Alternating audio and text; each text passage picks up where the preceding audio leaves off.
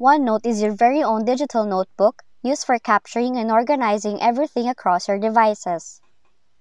But if you were trying to create a new notebook in the OneNote desktop version and saw an invalid notebook name error message, such as like this, we would show you some easy ways to fix this error in this video tutorial. So the first possible reason this error appears is that the path or the notebook name contains invalid characters.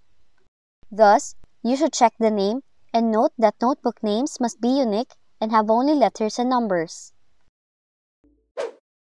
Next is to update OneNote, as more often not, Office applications update themselves automatically, but sometimes they also don't.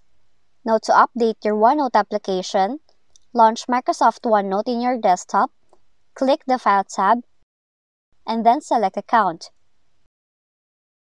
Click Office Update, and then choose Update Now. If there's any update, install it and check if the issue persists.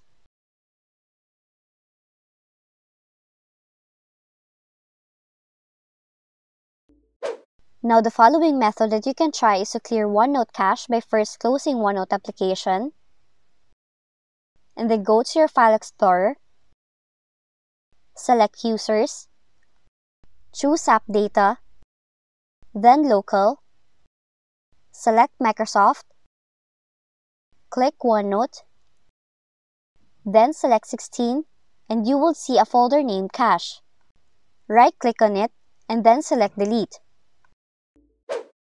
But if those methods still does not work, you can try repairing OneNote.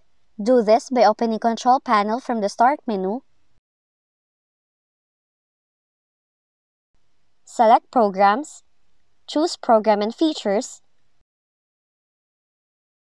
then look for Microsoft Office,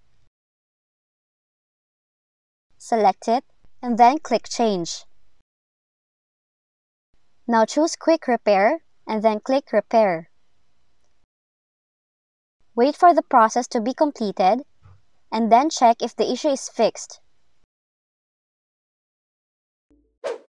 The last method that you can try is uninstalling and reinstalling the Office. You can do that by opening the control panel from the Start menu, select Programs, choose Program and Features, look for Microsoft Office, and then once you've located it, select it, and then click Uninstall. Once it has been uninstalled, install Microsoft Office again. And those are the possible solutions that hopefully have resolved your problem with OneNote. If you found this video helpful, kindly like and subscribe.